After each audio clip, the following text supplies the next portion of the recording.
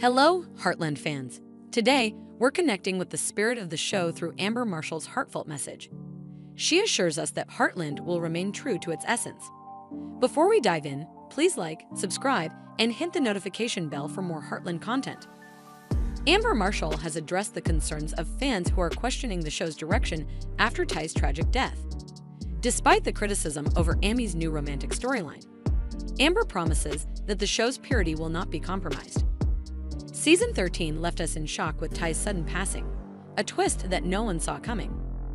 The slow burn romance between Amy and Ty was the heart of the show, and his absence has left a void that the series is now navigating. As we approach two years since Ty's death, the show faces a delicate balance.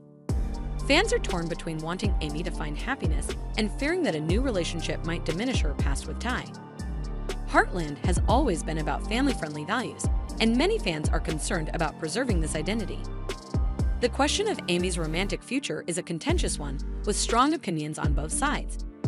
In a recent interview, Amber expressed her love for the show and its ability to resonate with viewers through all seasons of life.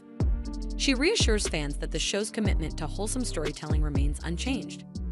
Now, we turn to you, the fans. Do you believe Amy should explore new love, or would you prefer her to remain single? How important is the show's wholesome nature to you? Share your thoughts in the comments below. Thank you for watching.